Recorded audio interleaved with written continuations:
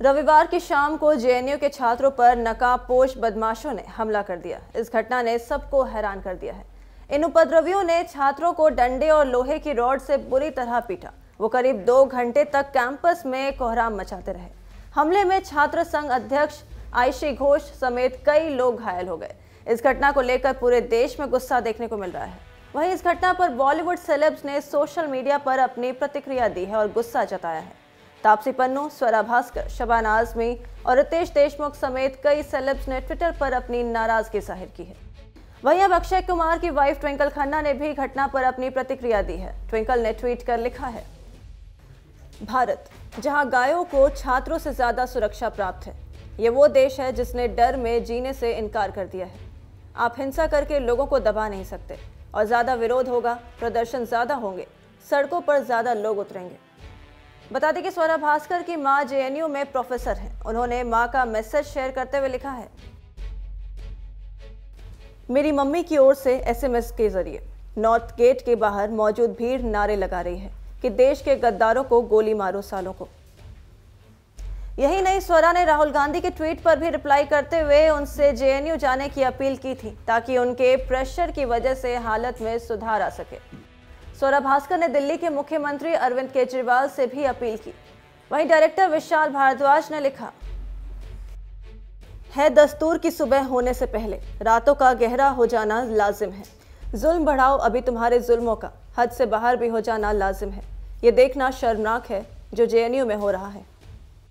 तो देखा आपने, कई बॉलीवुड स्टार्स ने इस घटिया हरकत का विरोध किया है।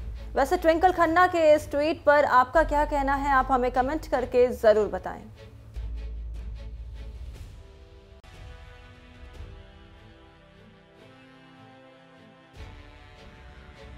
Hi, this is Swara Bhaskar, and I'm uh, sort of this is a really urgent SOS sort of appeal.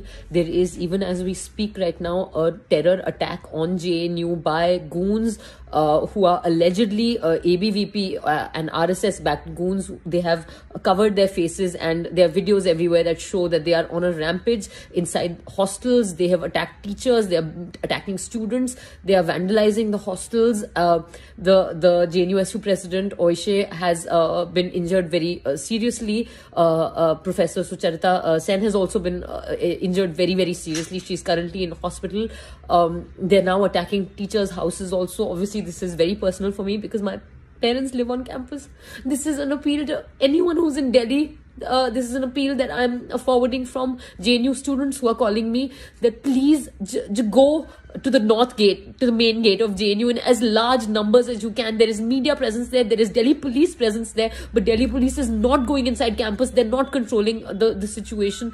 Please, as citizens, collect in large numbers in front of the main gate and uh, and please uh, you know pressurize the police to act. I mean to, to, to stop this rampage. This is it's absolutely crazy. So this is my appeal. Please share it as widely as you can. It's i think it's around nine o'clock right now uh, on uh, on the the 5th of january. And uh, please please share this appeal. And and if you can just uh, please meet at, at the main gate, uh, which is north gate of, of JNU uh, campus on Baba Gangnath Marg.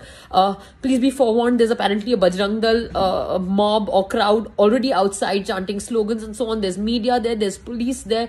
Uh, this is my urgent appeal to all of you to please uh, reach there as soon as possible. Thank you.